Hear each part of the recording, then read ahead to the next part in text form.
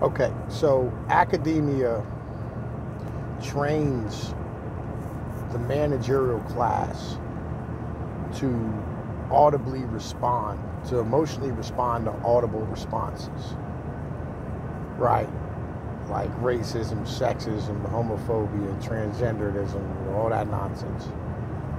And when they do so, they allow an opening for the media to be able to stand here and make individuals move in the way that they need to move so that the pools of power are moved by the individuals who have the voice to do so. The Catholic Church was a pool of power that was used by governments to expand their hard power that they had.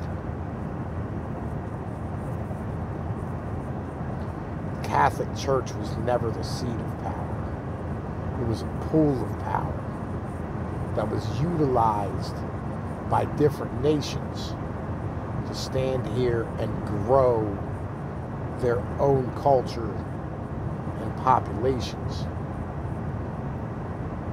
But the Catholic Church was never a government and never had the monopoly on violence the way that the governments did.